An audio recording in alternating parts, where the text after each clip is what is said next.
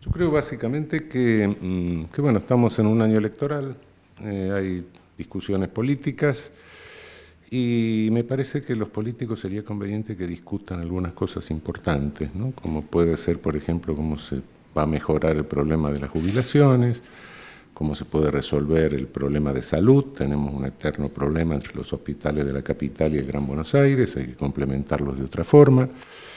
Creo que sería conveniente ver cómo van a resolver el problema de la cuenca del riachuelo, por ejemplo, este, que nos puede llegar a contaminar media ciudad de Buenos Aires. Creo que hay que ver cómo se puede mejorar el sistema de educación. Este, en fin, me parece que sería conveniente que discutan esas cosas y no otras cosas que le marca la agenda simplemente mediática.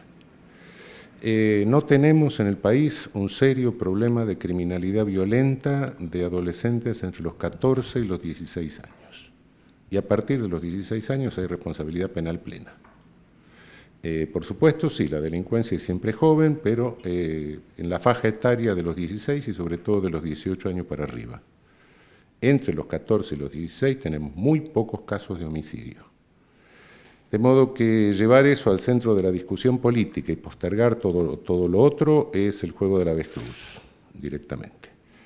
Creo que este año sería conveniente no tratar ningún tema penal. Dejen el Código Penal en paz, dejen la Ley Penal Juvenil en paz y lo discutamos después de las elecciones. No creo que sea el marco para discutir esto porque todo esto se confunde con una obtención de votos y una agenda que le está marcando los medios de comunicación o algunos medios de comunicación. La agenda política, lo que le interesa a la gente son los temas que marqué antes y otros más. Esos son los que inciden en nuestra vida cotidiana.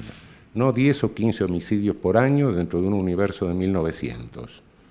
Ya sé que la víctima que le toque, la familia que le toque, es un dolor, sin lugar a dudas, pero son 10 o 15 entre 1900.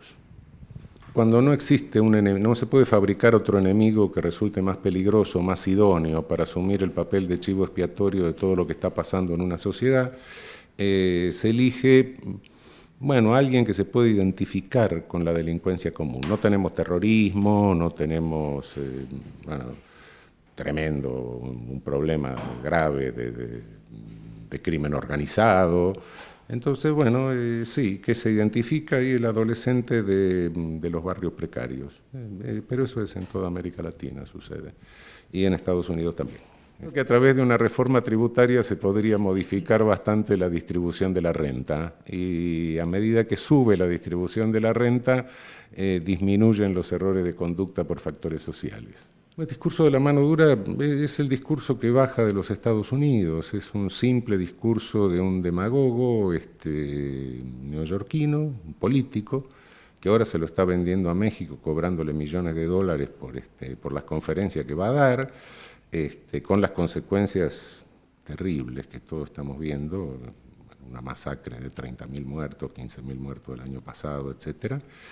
Este, pero esa es una cosa publicitaria. Miente, por otra parte, miente porque no es cierto que en New York haya bajado. Bajó el número de delitos, pero bajó en todo Estados Unidos, porque en la época que él hizo una gestión había política de pleno empleo. De modo que, bueno, si, a mí me dan los mismos elementos, política de pleno empleo, suben los salarios, eh, me dan algunos fondos para mejorar la policía y me permiten depurar la policía de algunas corrupciones, y claro que el delito va a bajar. Eso fue lo que realmente hizo. Mano, eh, tolerancia cero, mano dura, etcétera, son eslogans, eslogans demagógicos eh, para obtener votos.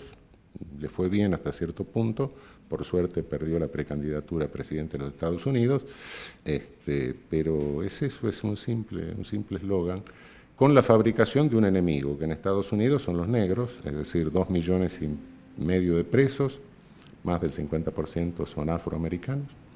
Este, y acá, bueno, eh, lo que se busca es la criminalización de los pibes de, barrios precarios. ¿Qué es lo más fácil de hacer? Eh, pescar a un estafador internacional o, agarrar a un pibe que va por la calle con uniforme de ladrón.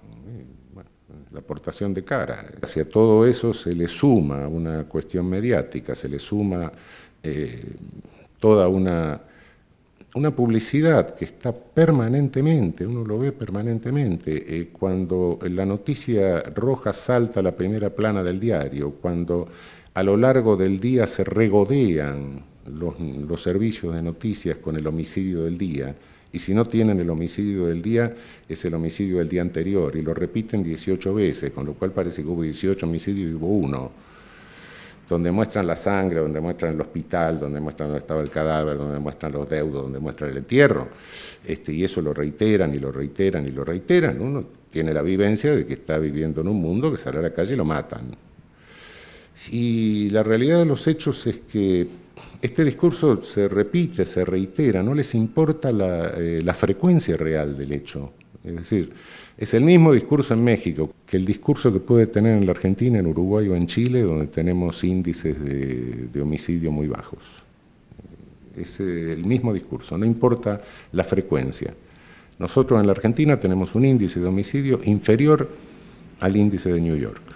La pretensión de bajar la, llamada imputabilidad, que no es imputabilidad, es meter eh, la pretensión de meter a los niños y a los adolescentes en el Código Penal con las mismas penas de los adultos. Eso ya lo hizo la dictadura militar en el año 76 y en el año 80 tuvo que dar marcha atrás porque nadie puede alterar lo que es la naturaleza de las cosas. La etapa evolutiva es una etapa evolutiva. Los mismos militares, la misma dictadura tuvo que, este, que dar marcha atrás en esto. Ley penal juvenil es otra cosa, es adecuar lo que es nuestra legislación a las garantías que exige la Convención Internacional.